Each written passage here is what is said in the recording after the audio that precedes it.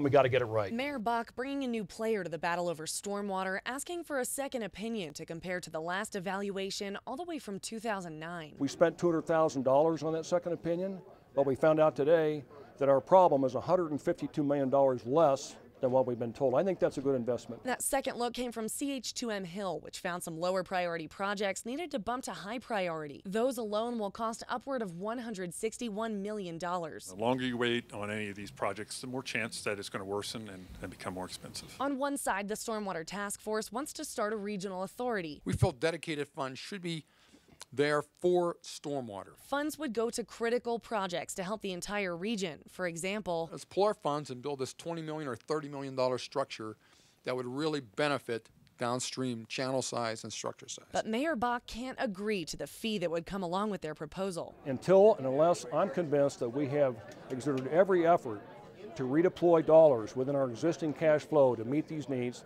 I just can't support asking my fellow citizens to dig, dig deeper into their pockets Bach's plan requires each municipality to bring their own funding source while allowing Colorado Springs to be the administrator. I do think that we should work together because we want to, not because we're being forced to.